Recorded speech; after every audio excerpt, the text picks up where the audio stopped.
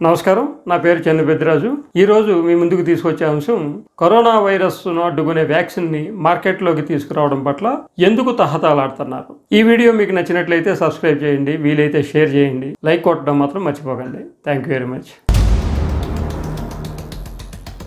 ప్రపంచాన్ని అలకల్లోలం చేస్తున్న కరోనా వైరస్ అడ్డుకునేందుకు వ్యాక్సిన్ తయారీ సంస్థలు చాలా వేగంగా మార్కెట్లోకి రావడానికి ప్రయత్నాలు చేస్తున్నాయి. ఇప్పటికే భారత్ బయోటెక్ ఆగస్టు పదిహేనవ తేదీ నాటికి మార్కెట్లోకి రావడానికి అన్ని ఏర్పాట్లు చేసుకుంది. అలాగే రష్యా సెచినోవ్ యూనివర్సిటీలో తయారు చేస్తున్న వ్యాక్సిన్ వచ్చే నెలలో మార్కెట్లోకి తీసుకురావడానికి శాస్త్రజ్ఞులు ప్రయత్నాలు చేస్తున్నారు. అట్లాగే బ్రిటన్ ఆక్స్ఫర్డ్ యూనివర్సిటీలో తయారవుతున్న వ్యాక్సిన్ కూడా వచ్చే నెలలో మార్కెట్లోకి రావడానికి ఆస్కారం ఉంది. అమెరికాలో మోడర్నో సంస్థ అన్ని రకాల పరీక్షలను పూర్తి చేసుకుని వచ్చే నెలలో మార్కెట్లోకి విడుదలకి సిద్ధమవుతుంది. ఇంకా ఇండియాలో అనేక కంపెనీలు అంటే జెడిస్ క్యాడిలా బయలాజికల్ ఈ మైండ్ వాక్ ఇండియన్ ఇమ్యూనాలజికల్ సంస్థ ఇట్లాంటివన్నీ కూడా వేగంగా మార్కెట్లో ప్రవేశించడానికి ప్రయత్నాలు చేస్తున్నాయి. కరోనా వ్యాక్సిన్ మీద ఇప్పటికీ ఈ సంస్థలన్నీ వేలాది కోట్ల రూపాయలు ఖర్చు పెట్టాయి. వైరస్ని ఎట్లాగైనా నిర్మూలించాలనే లక్ష్యంతో ఇవన్నీ రాత్రి పగళ్ళు అలుపెరగకుండా పోరాటం చేస్తున్నాయి. ఈ వ్యాక్సిన్ని మార్కెట్లోకి తీసుకురావడం వెనక కారణాలు ఏమిటో ఒకసారి మనం చూస్తే ఆశ్చర్యకరమైన విషయాలు కూడా మనకు కనపడతాయి. వ్యాక్సిన్ తీసుకురావాలనే లక్ష్యంలో మన ఉద్దేశాలని తప్పుపట్టలేము ఎందుకంటే ప్రపంచాన్ని గుర్తిపిస్తున్న ఈ కరోనా వైరస్కి అడ్డుకట్ట వేయాలంటే అన్ని చేతులు కలవాల్సిందే. కానీ ఇక్కడ కొన్ని సంస్థలు మాత్రం సాధ్యమైనంత త్వరగా అంటే డిసెంబర్ లోపే వ్యాక్సిన్ తీసుకొచ్చి కరోనా వైరస్ని అడ్డుకునేందుకు ప్రయత్నాలు చేస్తున్నాయి. అయితే ఈ వ్యాక్సిన్ తీసుకురావడం వెనక స్వామి కార్యం స్వకార్యం రెండు నెరవేరాలనేది ఆయా సంస్థల లక్ష్యంగా మనం చెప్పుకోవచ్చు. వేల కోట్ల రూపాయలు పెట్టుబడి పెట్టిన ఈ ఈ సంస్థలు వ్యాక్సిన్ డిమాండ్ తగ్గిన తర్వాత తీసుకురావడం వల్ల పెద్దగా ప్రయోజనం ఉండదు ఎందుకంటే ముందు ఎవరైతే మార్కెట్లోకి ప్రవేశిస్తారో వారికి ప్రయోజనాలు ఎక్కువగా ఉంటాయనే విషయంలో ఎవరికి సందేహాలు అక్కర్లేదు. అందుకనే శాస్త్రజ్ఞులంతా రాత్రి పగలు కష్టపడి సాధ్యమైనంత త్వరగా మార్కెట్లోకి వ్యాక్సిన్ తీసుకురావాలని ప్రయత్నం చేస్తున్నారు. కోట్లాది మందిని కాపాడాలనే లక్ష్యం వెనక కోట్లాది రూపాయలు సంపాదించాలనే లక్ష్యం కూడా వీళ్ళకి బలంగా ఉందని మనం చెప్పుకోవచ్చు. ఎందుకంటే హెర్డ్ ఇమ్యూనిటీ అనేది మనుషుల్లో ప్రవేశిస్తే వ్యాక్సిన్కి డిమాండ్ తగ్గిపోతుంది. హెర్డ్ ఇమ్యూనిటీ ఏంటి ఏంటో ఒకసారి మనం పరిశీలిస్తే ఒక వైరస్ సమూహంలోకి ఎంటర్ అయినప్పుడు అది ఒకరి నుంచి ఒకరికి సంక్రమించే అవకాశం చాలా ఎక్కువగా ఉంటుంది. అంటే ఇది కమ్యూనికల్ డిసీజెస్ అని మనం చెప్పొచ్చు. ఈ కమ్యూనికబుల్ డిసీజ్ మనుషుల్లో ప్రవేశించిన తర్వాత ఒకరి నుంచి ఒకరికి ఒకరి నుంచి ఒకరికి సంక్రమించి అది విస్తారమయ్యి ఒక సమూహానికి అంటువ్యాధిగా వ్యాపించే అవకాశం ఇట్లా అంటువ్యాధిగా వ్యాపించి కొంత కొన్ని వందల మందిలో కొన్ని వేల మందిలో ఇలాగ చేసినప్పుడు ఏమవుతుందంటే సహజంగానే ఈ వైరస్ శక్తి కోల్పోతుంది. శక్తి కోల్పోవడం అంటే మనుషుల్లో ఇమ్యూనిటీ పవర్ పెరిగిపోతుంది. ఇమ్యూనిటీ పవర్ పెరిగినప్పుడు రెసిస్టెన్స్ పవర్ ఎక్కువగా ఉంటుంది కాబట్టి వైరస్ మనుషుల్ని ఏమీ చేయలేదు. అట్లాంటి పరిస్థితుల్లో వ్యాక్సిన్ వచ్చి ప్రయోజనం ఉండదు. మనిషి ఎప్పుడైతే వైరస్ బారిన పడి అనారోగ్యానికి గురవుతాడో అప్పుడు ఈ వ్యాక్సిన్ అవసరం ఎక్కువగా ఉంటుంది. కానీ ఇమ్యూనిటీ డెవలప్ అయిన తర్వాత మనిషిలో టీకాణాలు పెరుగుతాయి.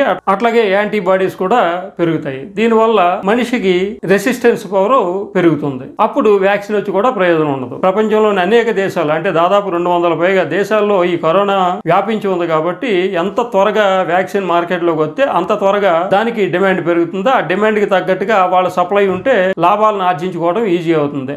హెరడ్ ఇమ్యూనిటీ పెరిగితే మాత్రం దీన్ని డిమాండ్ తగ్గిపోతుంది కాబట్టి సాధ్యమైనంత త్వరగా మార్కెట్లోకి ప్రవేశించాలని ఆయా సంస్థలు పోటీ పడుతున్నాయని మనం చెప్పుకోవచ్చు. ఇక్కడ ఇంకొక విషయం ఏంటంటే మనం చెప్పుకోవాల్సింది హెర్డ్ ఇమ్యూనిటీ వచ్చే లోపల వ్యాక్సిన్ అమ్మేసుకోవాలని చెప్పేసి ఇవి తయారు చేస్తున్న సంస్థలన్నీ చాలా తాపత్రయపడుతున్నట్లు మనం అర్థం చేసుకోవచ్చు. ఇప్పటికే ఈ కరోనా అనేక మందిలో సోకి రోగ నిరోధక శక్తిని పెంచిందనే చెప్పొచ్చు. ఒకటి వ్యాక్సిన్ ద్వారా రోగాన్ని తగ్గించడం రెండోది సహజ సిద్ధంగా మానవుల్లో ఉండే శక్తి సామర్థ్యాల ఆధారంగా ఈ రోగ నిరోధక శక్తిని పెంచడం అంటే యాంటీబాడీస్ని ఉత్పత్తి చేయడం అట్లాగే టీకాణాల ఉత్పత్తిని పెంచడం అనేది సహజ సిద్ధంగా జరిగితే వ్యాక్సిన్ అవసరం పెద్దగా ఉండకపోవచ్చు. అందుచేత వ్యాక్సిన్ తయారీ సంస్థలు సాధ్యమైనంత త్వరగా ఈ వ్యాక్సిన్ అమ్ముకుని లాభాలు చేసుకోవాలని చెప్పేసి భావిస్తున్నట్లు వైద్య నిపుణులు చెబుతున్నారు. సహజంగా కృత్రిమ రోగ నిరోధకత కంటే సహజ రోగ నిరోధకత ఎక్కువ కాలం ఉంటుందని చెప్పేసి డాక్టర్లు చెబుతున్నారు. ఎక్కడ వైరస్ బాగా వ్యాప్తి చెందుతుందో అక్కడ దాదాపు ఇరవై ఐదు శాతం